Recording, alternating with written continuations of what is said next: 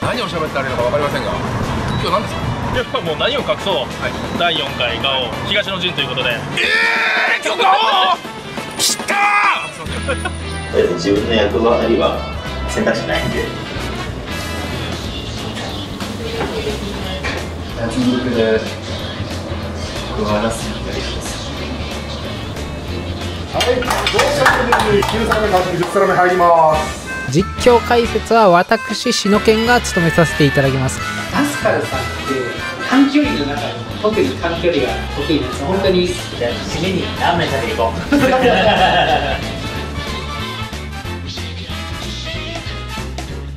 はい、はい、急にオープニングをやると言われ台本もあるわけがなく侍インティ何を喋ってあれるのか分かりませんが今日何ですか？い。やもう何を隠そう、第4回ガオ東の陣ということで。ええー、今日が来たー！オですね。ガオですガオです。で今回、あのーまあ、ガオをやるんですけど、えー開催する場所はですね、なんと今ちょっと多分上からスンと来たと思うんですが元祖肉玉そばおじさんにて本日第4回ガオを開催したいと思います。聞こえてますか声。今どんな感じなんですか？今日どんな感じ？今日ですね、えっと、前回とちょっと違うのはチーム戦なんですけど、はいえっ、とえ先方中堅大将。先方中堅。先方が、えっと今回餃子です。餃子。美味しいんですよ餃子。これねそう有名なんですよ。あこれこれこれ。これあの冷凍の自動販売機あるんですよこうおじさんはい。これこれこれ。肉玉そばですとかまあこの鶏白湯のいろんなキムズ菓子屋さんとかねあの長野で有名な、はい。あるんですけどもこの餃子これ。これです。これをまんま使うとですか？まんまだと思います。多分ここ変わらないと思います。はい。餃子が1個目と。1個目です、はい。で2種類目がですねここにはないんですけど特製のチャーハン手作りチャーハンがあって。チャーハン？はい。チャーハンってこちらメニューであるメニュー？こちらのおメニューには答えます。はい。おーあなるほど全部食材が違うと。餃子？でチャーハン？で最後が肉玉のつけ麺です。つけ麺？つけ麺。つけ麺か。え制限時間は何分ですか？えーとですね餃子が制限時間10分で 2, 個目？チャーハンがはい。制限時間だと20分20分倍ですか？はい。おこれ倍になってるあまあ食べにくいですしね。そうですね。はいはいで、えーつけ麺がちょっと減るんですよ。減る？15分に減ります。つけ麺が15分。15分です制限時間。10分20分15分の戦い。それ順番はなんどうやってです順番はですねこれ西軍東軍に分かれてこの後チームミーティングを行って。でゃあ俺この後ミーティングするの？そうです。だから俺俺これ行きたい俺これ行きたいみたいな。みたいな感じでチームでガチで勝ちに行くための順番を決めてもらう。えこれあれじゃん。食べるものが違うってことは相当順番大事よ。相当大事ですよ。得意不得意もあるだろうしなんなら多分心理戦もあると思うんだよね。なんか極端な話なんか例えばじゃあカーザイル初戦から出してくるとかでこっちに動揺させるとかもあるだろうし。マジか。まあ考えましたな。考えましたな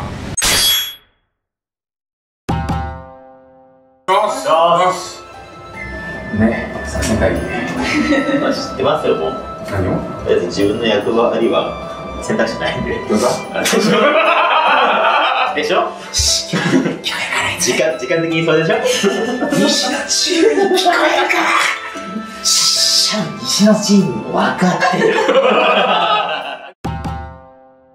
予想はマックスさんチャーハン結構硬くてでラスカルさんとエムヤさんがそうですねそのつけ麺か餃子なんです多分ラスカルさんって短距離の中でも特に短距離が得意なんです本当に制限時間が1桁台のやつが得意で演技がめちゃくちゃ強いんで多分一番力発揮できるのって、まあ、麺も当然強いんですけど多分餃子があの3人が全員餃子でやったとしてもラスカルさんが一番飛び抜けてる。じゃないか思います。みんな限界はそうですね。だから多分オーダー予想としてはラスカルさんでチャーハンがマックスさんでエムガイさんがつけてる。あそこあの前後するかもしれないですね。自然はちゃんとゴールした上だと脱力で僕はラストにやります。いっぱい昔やってますもんね。そうですね。大学一生いっぱいなんででその後にも帰って今一生いっぱいになる。ででも適性的にもやっぱゾウさんってすごい早食いがこの中で一番得意なんで結構餃子は一生いっぱいで3度目の正直を決める。でじゃあ自分の餃子いきますガオ東西チームバトル東の陣先鋒戦を始めたいと思います。東チームラスカル新井西チームゾウさんパクパク。メニュー餃子。1皿10個。200g 制限時間10分での対決となります。さあ始まりました。先鋒戦餃子大食い対決。ゾウさんパクパク選手対ラスカル新井選手。実況解説は私篠健が務めさせていただきます。さあまずねさらっとルールの復習からいきます、あ、食べる食材は餃子。個 20g のものが1皿あたり10個入っていて1皿 200g となっております。あこれはね制限時間10分でどれだけ食べられるかですね、まあ、ちなみにね1個 20g の餃子は、まあ、身近なところで例えると大体ねみんな大好き餃子の王将様のね餃子と同じぐらいの大きさなんで、まあ、それぐらいをねイメージしてもらうと想像しやすいかと思います。さあ戦況はね若干ラスカルさんが餃子23個分ほどリードしておりますがほぼほぼ拮抗状態ですね。さあ言うてる間にラスカル選手が2皿目を完食。そして続いてゾウさんパクパク選手も2皿目完食。ここまでねあの1分で2皿つまり大体1皿30秒ペースで完食してるんで餃子1個あたりにかける時間平均時間っていうのがもうわずか3秒なんですよね。異次元すぎて変な笑いが出てきます。この2人ぐらい食べるの早かったらもはや10秒かけてウィダーインゼリー飲むよりその間に餃子3個食った方がカロリー多く摂取できる気がしますね。あさあ今回競技の対象となっているこの餃子ですね。もちろんねめちゃくちゃ美味しくてみんなも大好き国民的アイドルではあるんですけど早食いとか大食い。特に今回制限時間短いで早食いですね。早食いする食材としてはどうなのかについて少し解説していきます。まずね結論から言うと早食い難易度はね餃子かなり高いですね。まあ理由は主に2つありまして、まあ、1つ目の理由は飲み込みづらさ。もうね油で水分飛んでる上に材料も肉と小麦粉なんで本当に飲み込めないんですよね。あ特にねこのガオーという大会ではやけど防止のために、まあ、比較的ね安全な温度になったった食材で競技を行うんで、もう餃子の皮のね、もちもち感がアップして、まあ、通常量よりもね、さらにやばいことになってると思います。まあ、今回みたいなね、短い戦い、短い時間での戦いってなると、まあ、スピードがね、当然求められてくるんですけど、やっぱね、水がないとこの餃子スムーズに飲み込むのはかなりしんどいんで、もう水飲むのは必須ですね。まあ、後にも触れますが、この水の配分どう使うかがかなり戦う上で重要になってきます。そしてまあ2つ目の理由は1個1個が分かれてることですね。これね、あんまり実感湧かないと思うんですけど、何が不便って食べる量の調整がしにくいんですよね。まあ、早食いの最強ムーブって、まあ、口の中にギリスムーズに飲み込める量を入れて、まあ、水で流し込むっていうことなんですけど、まあ、このね、口の中に入れる量の調整幅が、まあ、餃子1個、2個、3個みたいにね、まあ、餃子1個単位になるんで難しいんですよね。あまあ、餃子2個を口に入れたら、まあ余裕あるけど、餃子3個やとちょっと飲み込むのきついみたいになって、まあ、自分のね、一番効率的な量に合わせにくいんで、地味に厄介です。まあ、一応ね、半分餃子噛みちぎるとかもできるんですけど、まあ、中身爆発してね、回収余計時間かかるんで、あんまりおすすめできないですね。まあ、多分同じ食材でも、まあ、1個1個分けて包まれて餃子10個あるのと、まあ、餃子10個がね、合体してでっかい1個 200g の肉まんみたいな餃子になってるんとでは、まあ、後者の方がね、だいぶ速いスピードで食べれるんじゃないかなって思います。まあ、このように、まあ、餃子はね、早食い難易度 SS ランク級の食材なんで、まあ、同じ時間でもカレーとかと比べると、まあ、単純にね、重量で比較した場合、まあ、半分も食べられないんじゃないですかね。あまあ、おそらくこのお二方とかだったら、10分もあればね、それこそカレーとかならね、5キロぐらい余裕で飲めるぐらいのね、方たちなんですけど、まあ、餃子だとね、2キロとかになるんじゃないでしょうかね。まあね、冷静に考えて10 1分で2キロもかなりバケモンじみてるんですけど、マジでね、大食い見すぎると感覚が麻痺してきます。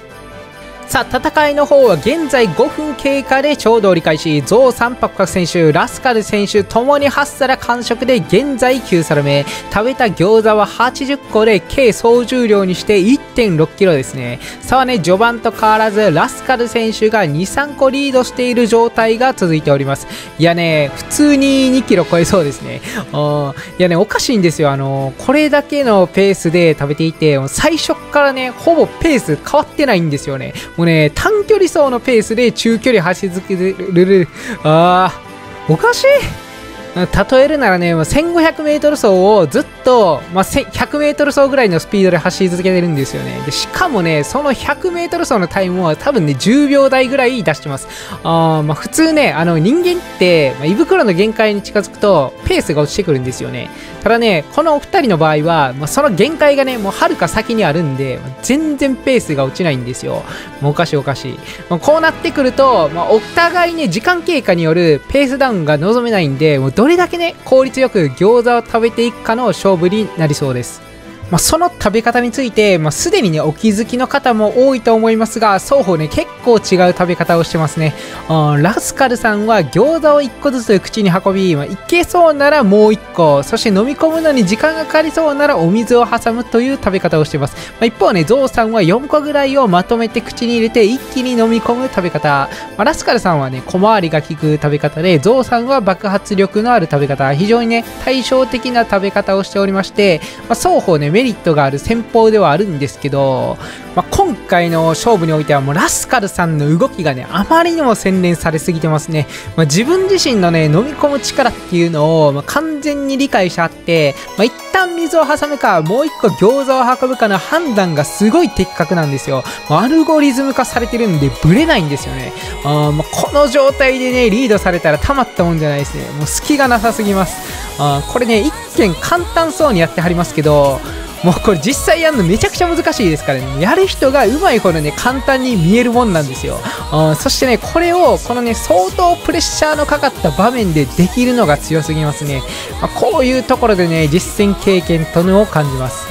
まただね、逆にそこまで完璧な動きをするラスカルさんに対して、まあ、離されずに食らいついていくゾウさんもすごいですよね。まあ、さっきからね、もう当たり前のように餃子4個ずつぐらい飲み込んでるんですけど、これどんな演技力してるんでしょうか。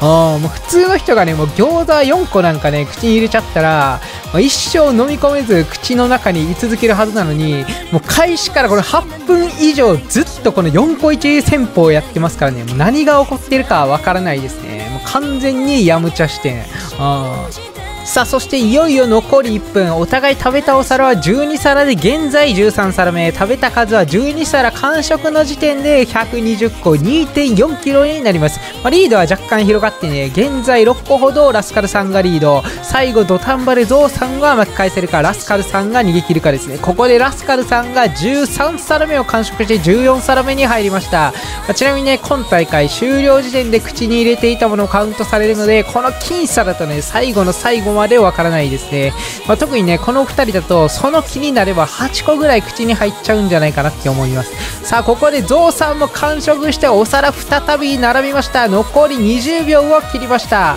勝負はまだわからない。勝つのはラスカル選手かそれともゾウさんパクパク選手か。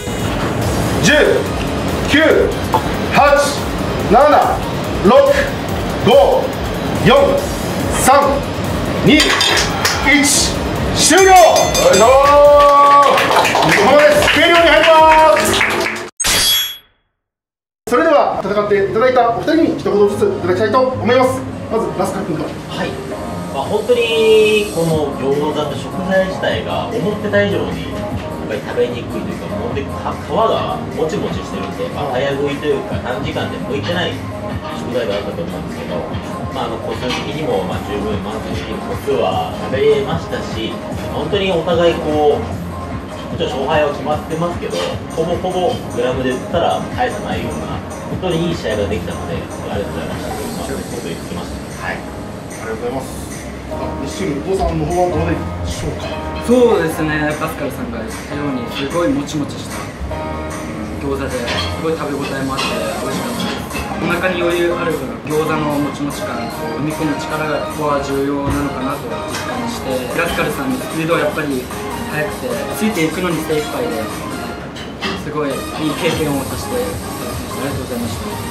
ありがとうございますそれではお二人ともありがとうございました。続きまして中堅戦の方に移らせていただきたいと思います。じゃあ締めにラーメン食べに行こう あの肉玉さんは代表の落ちさんです。お願いします。お願いします。お願いします。自分は一番きつい食べたい。個人的な気持ちをねで僕は結構あの長期戦が結構得意だからやっぱ20分だったらチャーハンでメニューチャーハン1皿 350g20 分の時間制限でございます水の重量ってバカにできないんですよねあー